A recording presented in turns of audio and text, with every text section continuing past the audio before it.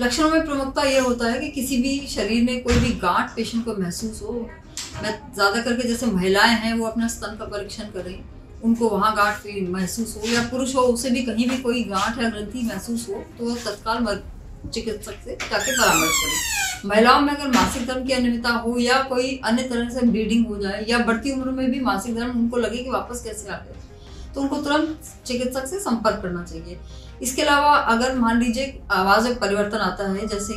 कोई आवाज़ बदल रही है भारीपन आ रहा है, परिवर्तन हो रहा है, खाने में दिक्कत है, निगलने में दिक्कत है तो भी तुरंत किसी चिकित्सक से संपर्क करा के अपना चेकअप करा लेना चाहिए।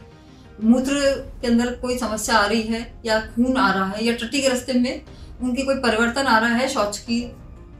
उसमें तो भी उनको तुरंत डॉक्टर से संपर्क करना चाहिए। ये सब प्राथमिक लक्षण हैं जो कि मरीज़ को समय समय पे अपने, कभी भी ऐसे प्रकट होते हैं तो तुरंत जाके किसी कैंसर के चिकित्सक से जाके अपना पूर्ण चेकअप कराना चाहिए, ताकि उसको प्राथमिक स्टेज पे ही हम लोग डिटेक्ट करके उसका इलाज कर सकें। कैंसर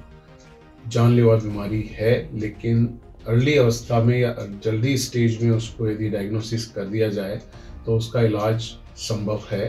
पहली और दूसरी स्टेज में शरीर में किसी भी प्रकार का कैंसर हो, किसी भी ऑर्गन का कैंसर हो तो उसमें 70-80 परसेंट तक सर्वाइवल पॉसिबल है।